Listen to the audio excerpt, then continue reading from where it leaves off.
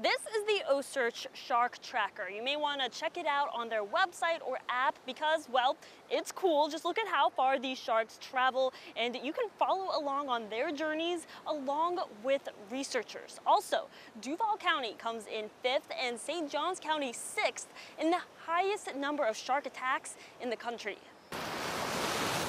The ocean tends to be this mysterious place. This music comes to mind when you think about sharks, or you're trying to do this, the likelihood of you actually meeting a shark is low, even though Florida is known as the shark attack capital of the world. We've been talking about him lately, Mahone. Brian Franks, big shark fan and a marine science professor at Jacksonville University, partners with OCEARCH, which runs this shark tracker.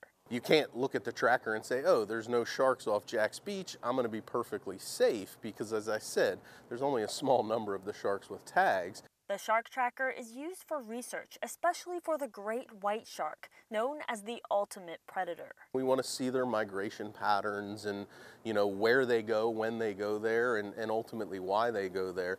But then we're also taking a suite of other samples. All part of solving the mysteries of the ocean. And I still get excited about trying to answer those questions.